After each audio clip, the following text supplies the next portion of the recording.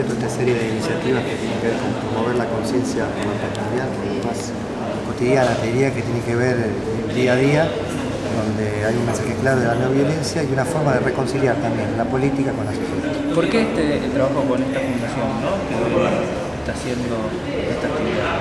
No, nada en particular, se acercaron a traer una propuesta, había algunos inclusive miembros de la HCD que han sido premiados, son los embajadores, y nos pareció que era una iniciativa interesante que mereciera.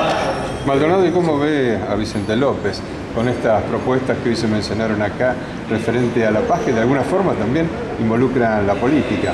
Sí, yo creo que la política tiene que ver mucho con la paz, creo que la política es un medio, no un fin en sí mismo, creo que bien utilizada tiene que tener como objetivo resolver los problemas cotidianos que hacen a la paz. Yo creo que el municipio de Vicente López es un municipio que está siendo azotado por una ola de inseguridad creo que eso es parte de combatir a favor de la paz, es combatir a la inseguridad, significa que el Estado cumpla su rol. que el hombre abandonó su de naturaleza de libertad a cambio de seguridad, creo que hay que garantizarlo.